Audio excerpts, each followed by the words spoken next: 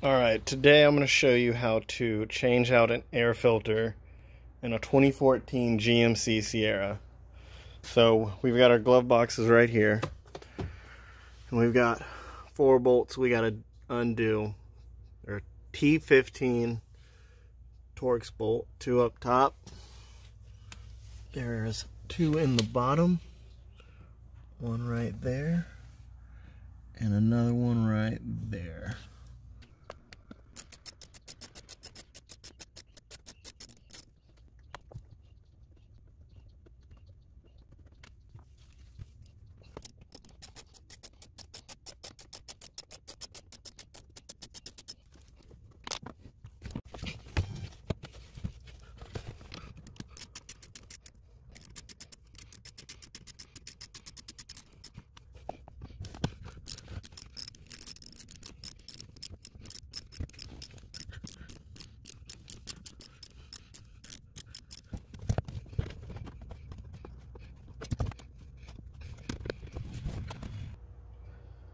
Okay, now that those bolts are undone, the glove box should just pop right out.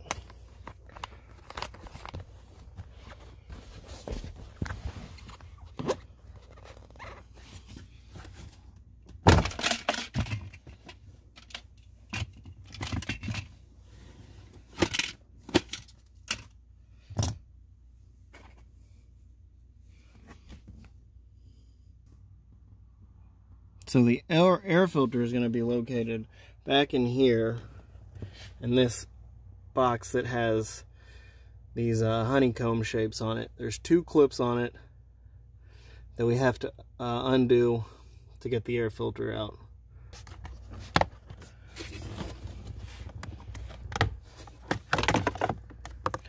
And there's our beautiful, messy air filter. I'm gonna go ahead and pull it out. There'll probably be a bunch of leaves and whatnot on it, just because that's the nature of the beast.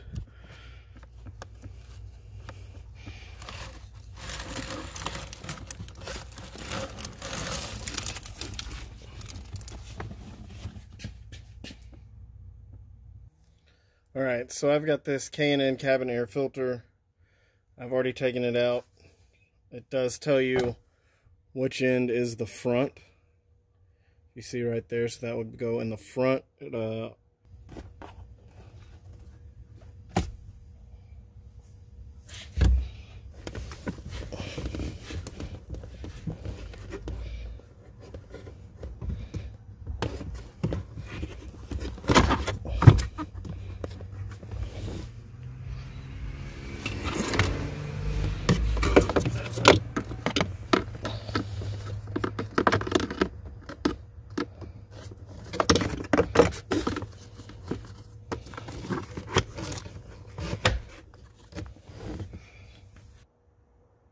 So this is the back of the glove box.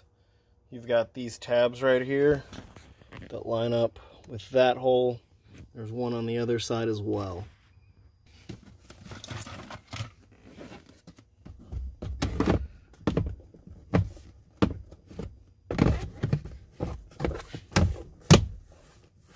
should just place set in place just like that.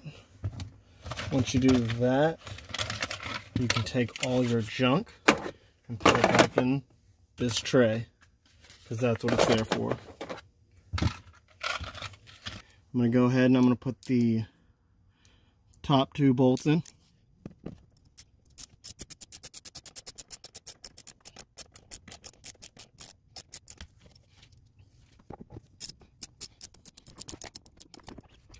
Bottom side can be a little tricky just because you can lose uh, lose these screws uh, in this drip tray.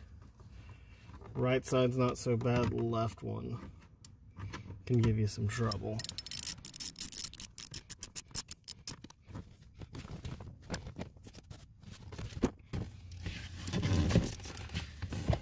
So this one here is going to be our tricky one.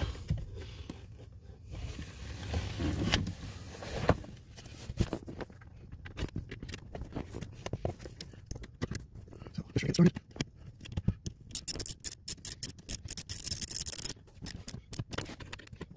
And you're done.